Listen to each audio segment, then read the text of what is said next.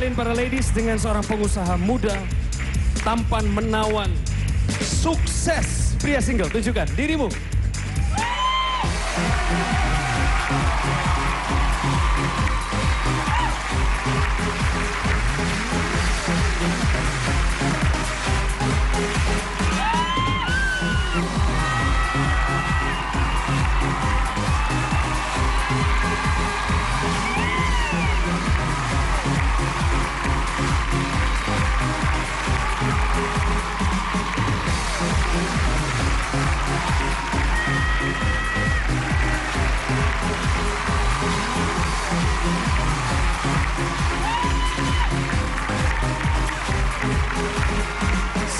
Malam, pria single. Halo, selamat malam. Wah, santai gitu. Kayaknya udah biasa gitu ya berhadapan dengan audiens yang banyak begini. Mari ladies, berkenalan dengan dia. Silakan pria single. Selamat malam ladies. Perkenalkan nama saya Hari, asal saya dari Bandung. Oh, dari Bandung. Hari dari Bandung. Tentukan pilihanmu sekarang.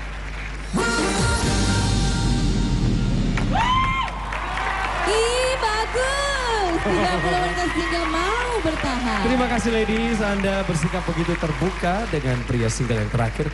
Karena memang habis ini udah nggak ada lagi. Memang kamu sebenarnya terbuka untuk itu ya. Oke Hari. Saya mau ngobrol sama Eca. Kenapa Eca lampunya masih bertahan untuk hari? Aduh, Kak Yuanita, ini tuh udah malam ya, tapi tuh ada matahari satu di sini. Ay, sedap. Tadi sipit ya kan ngantuk-ngantuk, ini terang lagi. Nggak perlu pakai kacamata ya. tuh? Iya. Nggak takut kena sakit mata Oh nanti enggak, sih. enggak, enggak, enggak usah biar lebih mendekati, Jelas gitu ya. lebih jelas. Terus apa yang paling eh, bikin kamu silau ngelihat penampilan dia? apa ya, dia rapi, tinggi, jenjang kakinya. Aduh, pokoknya manis ya kan, senyumnya ramah juga. Ramah, manis. Kayaknya semua positif ya. Iya, positif Kalau kesan pertama positif harusnya belakang-belakangnya juga positif juga ya. Iya, Coba banget. kita lihat nanti Coki. Oke. Cok, silakan Cok. Saya mau ngobrol sama ladies yang di sebelah kanan ya. Kita ke Lina dulu. Hai Lina. Paling jago kamu kalau ngasih kesan pertama sama orang. Saya mau dengar deh. Untuk pria yang terakhir ini. Silakan, namanya Hari. Halo Lina, Aku mau nyanyi buat kamu ya. boleh. Langsung dikasih lagu nih. Aku tak mengerti apa yang ku rasa. Eh, Jantungku dak dikduk begitu hebatnya. Aduh. Ari. Penonton. Cocok nggak? Eh, ini tipe aku banget Yang tadi juga kamu bilang begitu. Iya, kan tinggi. Oh iya. Gak ada yang nggak ada yang matikan lampu di ronde pertama. Bagus loh, selamat hari. Ini ini awal yang baik buat kamu. Iya. Pertahankan semangatmu seperti ini, banyak senyum, relax aja. Kita lanjut yuk, roundnya ke berapa penonton? Dua.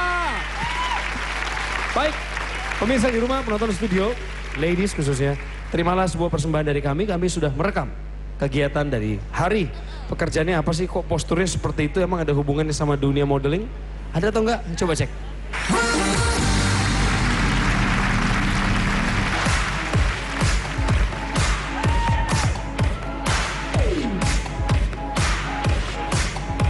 Saya adalah seorang wirausahawan. Usaha yang berada di Cirebon ini bergerak di bidang konveksi. Bersama keluarga saya, usaha ini sudah kami kelola selama tujuh tahun. Dibutuhkan ketekunan dan kerja keras tentunya untuk dapat mengolah usaha tersebut sampai sejauh ini. Selain berwirausaha, saya juga mempunyai pekerjaan sampingan dan saya bekerja sebagai model. Dalam dunia modeling, sudah banyak prestasi yang saya raih. Rasanya ada yang kurang. Jika kesuksesan karir ini tidak diiringi dengan cinta, maka dari itu, malam ini saya akan mencari cinta saya di Teknik Out Indonesia. Coki! Wah keren ya keren. Pita, halo. Nah sekarang dengan Anda ya, saya mau dengar komentar Pita tentang Hari. Silakan. Namanya Hari. Ya. Hai Kak Hari, Halo Pita. kayaknya gimana ini eh, peserta yang terakhir ya Kak ya? Kayaknya mata aku seger aja, aku mau ngasih teka-teki deh buat kamu. Oh, ada teka-teki. Ada teka-teki. Apa? Apa bedanya kamu sama kapur? Sama-sama putih. Oh, sama-sama putih. Oh, mau disamain sama kapur emangnya? Oh enggak dong. Warnanya, warnanya. Bener ya Oh, jawaban itu? warnanya. Bukan, jawabannya bukan itu. Apa? Jadi?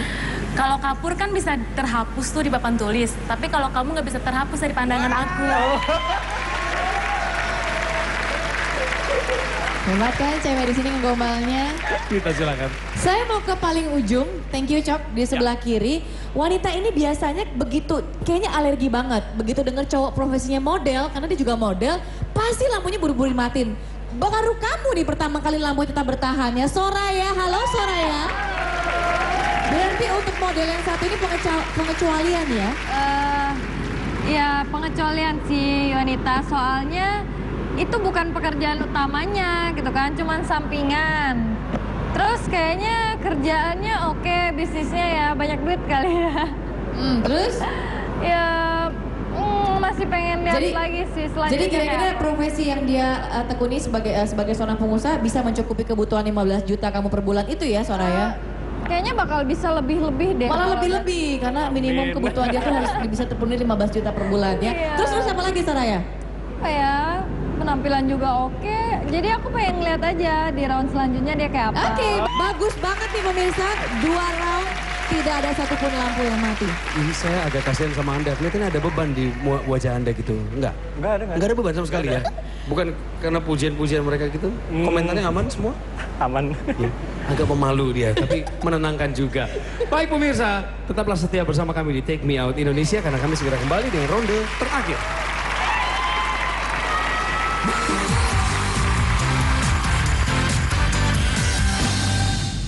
Dua ronde, inilah ronde ketiga. Saya dan Coki akan memberikan challenge untuk pria single ini. Nanti kami akan memberikan target ya. Target tersebut akan berputar secara manual akan diputar oleh Coki ya. Dan tugas kamu adalah harus memukul target sesuai dengan warna yang kami minta. Warnanya nanti adalah biru. Cari target yang biru. Kata dia hobinya boxing dan dia udah latihan. Coba kita buktikan kemampuannya. Ladies kalau suka, tolong bertahan. Berikan semangat untuk hari. Lakukan sekarang.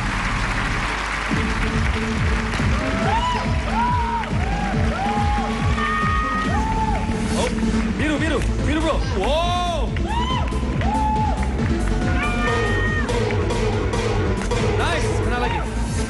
target, hit the target. Nice. Bro, uppercut bro, uppercut. Ayo, ayo. 6. 7. Au, miss 1. 8. Au. 9. Oh, Oh, oh, oh, look at that.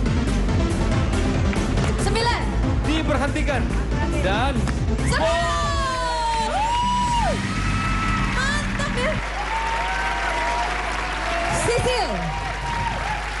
Sisil juga lampunya mati. Awas ya kalau pakai alasan yang sama ya. Enggak. Ya kenapa Sil? Aduh jadi galau nih. Hmm. Jujur punya masa lalu sama cowok boxing. Apa? Punya masa lalu sama cowok ya? Tinju dan- Hobinya, hi- hobinya apa? Ah, dia boxing ah, tinju, cuma dia meninggal. Oh meninggal. Itu mantan pertama Maksudnya meninggalnya karena? karena lagi tanding. Oh lagi tanding. Iya, di salah satu stasiun TV. Oke Jadi baik. trauma juga. Oh jadi kamu takut ya? sorry, di salah satu stasiun TV. Sorry, maaf ya. Apakah ini orang yang datang dari Bandung? Oh, yang orang bukan ya? Yang mantan kamu bukan ya? Bukan. Bukan ya. Jadi mungkin mungkin kalau em, Sisil ini kalau berhubungan dengan kamu takut mengulang luka lama dia lagi. Kalau boleh tahu berapa lama Sisil menjalin hubungan dengan almarhum? Ah, dua tahun lima bulan. Dua tahun lima bulan. Persisnya tahun berapa? Belum lama sih. Belum lama ini. Ah, awal awal Januari. Ah, awal tahun ini meninggalnya. Awal tahun ini. Oke. Kami turut berduka ya Sisil ya. Iya. Jadi masih trauma sesuatu yang berhubungan dengan tinju. Iya, Baik. maaf ya. Ya, tetap semangat ya Sisil ya. Tetap semangat ya. Kita dukung kamu di sini. Amel, Amel, Amel. Amel, biar kamu nggak kalah, saya kasih kamu kesempatan mau ngomong apa sama pria single ini. Uh, overall kita suka tipe cowok begini, rupa ngana hari. Terus uh, mapan, dewasa. secara physically oke, secara apa boxing tadi kita suka cowok yang pemberani. Ngana jangan sehat ya tapi lampu nanti kita ajak Ngana ke Manado buka usaha di sana orang dua. Asik. Kita berdua nanti buka bisnis bareng di mana Terima kasih Amel. Tantri, saya kembali mau ke Anda. Sebagai pendatang baru, saya cukup apresiasi dengan apa yang Anda lakukan. Selalu terbuka untuk pria single ya. Meskipun ini adalah episode perdana Anda. Dia seorang pengusaha konveksi, sampingannya adalah modeling. Apa yang Anda lihat secara keseluruhan? Businessman and modeling. Yang aku suka dari bisnis kamu itu ada bisnis keluarga. So ada attention to your family. Uh, Thank you. It's very very good.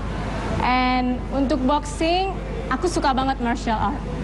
Suka banget. Kamu suka martial art apa? Yes, I used to learn taekwondo. Sama dong. Sampai Yeah. ban apa? Uh, green. Tiger satu ya? Yeah. Oke, good. Yeah, but it was long time ago. Ya. And aku interested banget with capoeira actually, tapi Berarti- boxing is good. Aku nggak takut karena buat aku itu buat uh, ekspresi agresivitas seseorang. Setuju? Selesai. Selesai, ada 22 lampu menyala. Sekarang hak sepenuhnya ada di tangan Hari. Matikan 20 lampu. Ini banyak jadi harus cepat ya. Oke. Oke Hari, tentukan pilihanmu sekarang. 20 lampu dimatikan. Silakan. Ayo ladies, semangat. Anda harus atraktif, harus menarik supaya dia nggak matiin lampu. Pertahankan lampu itu bukan dengan cara menutup akses untuk menekan tombolnya, tapi senyum deh, senyum. Coba.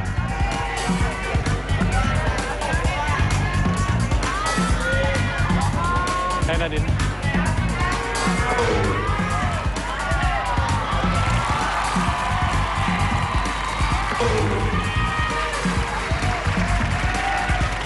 Kok di sini?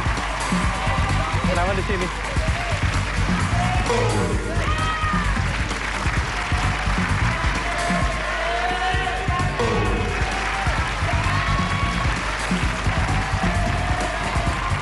Kenapa tangannya di sini?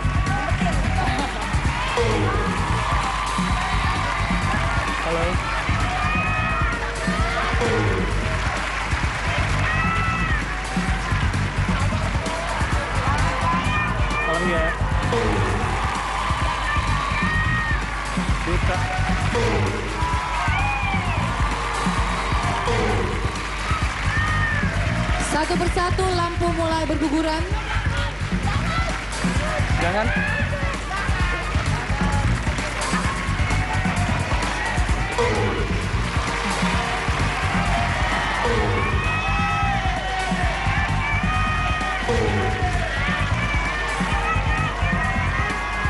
Matikan 8, 7 lampu lagi. Lebih cepat lagi Hari.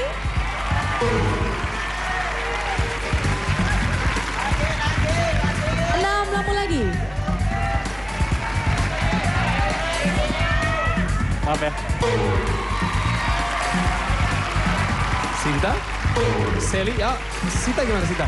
Kuning, kuning. Ditekan. Ah, tidak juga. Tiga lampu lagi. Tiga lampu lagi.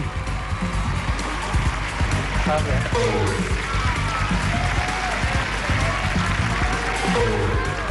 Satu lagi, satu lagi Hari. Apakah Tantri? Ataukah Friska? Ataukah Amel? Tantri pendatang baru kita baru malam hari ini berada di balik podium.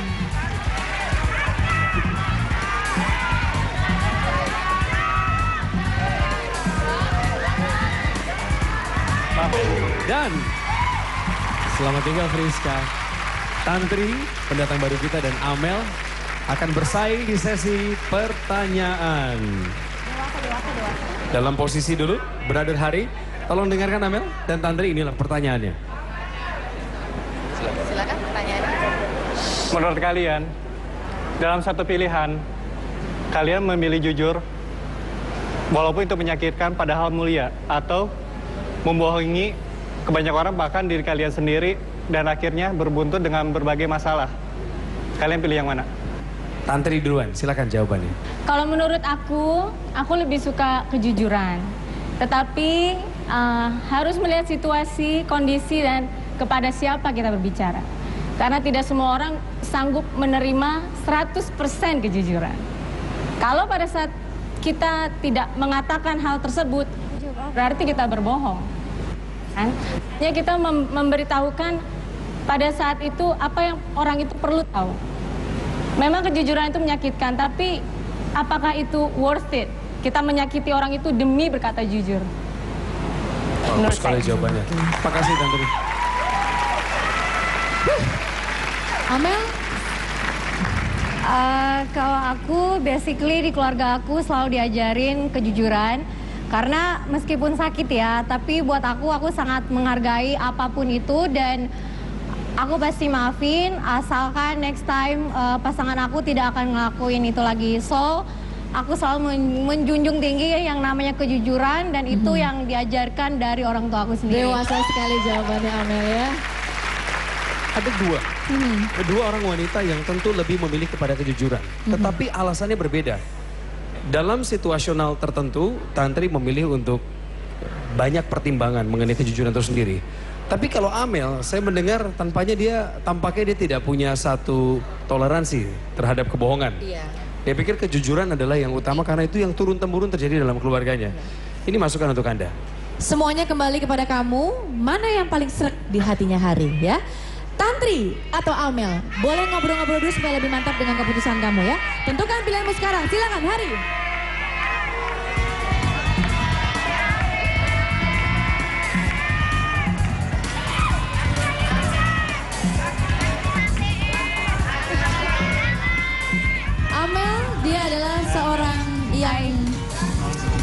Berprofesi sebagai seorang MC. Eh, aku broadcast penyiaran TV, tapi sekarang aku kerja di Telkomsel, cuman aku presenter juga. Iya. Iya. Dia memiliki kriteria pasangan yang mapan. Halo. Oh, itu kamu banget. Aku kerja. Aku, ah, aku guru deh. Ah. Eh, Tantri berusia 31 tahun, seorang guru Tari. Penari, ya, guru tari, dance teacher. Oke. Dan Tantri adalah seorang single fighter.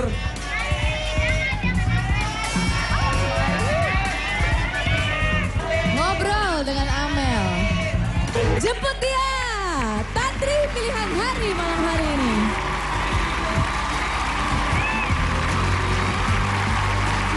Domanco sekali lagi untuk mereka.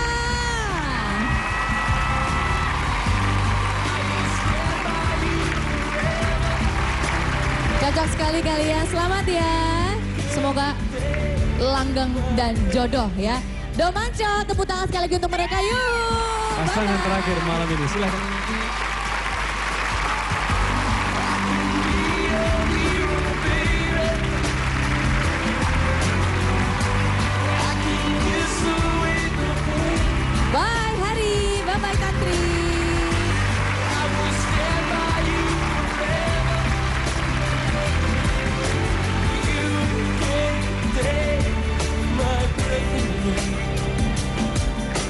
Kenapa saya memilih tantri di sini? Karena saya begitu datang ke stage, saya melihat uh, so- sosok seorang tantri di situ. Dia orangnya manis gitu. Dan ketika ada pertanyaan saya yang tanya kepada tantri ini, jawabannya ya excited lah. Dan juga saya cukup puas. Alasan aku milih Hari dari pertama kali dia turun dari atas. Eh, ya semua orang teriak, wah udah pasti dia kelihatan keren banget. Dan aku suka cara dia jalan, cara dia berdiri, rileks, santai. Setelah tahu dia lebih jauh, ternyata di balik kesantaiannya dia, dia memiliki sesuatu yang serius. Uh, dia pengusaha dan dia juga punya side job sebagai model. Tapi usahanya ini sangat menarik karena ini adalah perusahaan keluarga. Dari situ saya lihat dia punya atensi dengan keluarga.